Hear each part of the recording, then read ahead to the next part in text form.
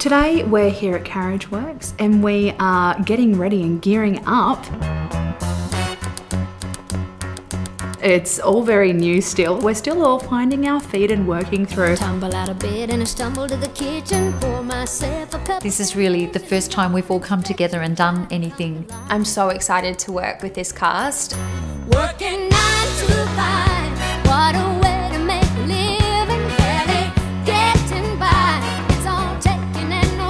There's an instant feeling of rapport and camaraderie, which I think is going to be really fantastic for the show.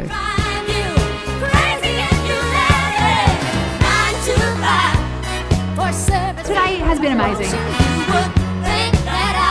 Everyone's just very excited and here we are celebrating.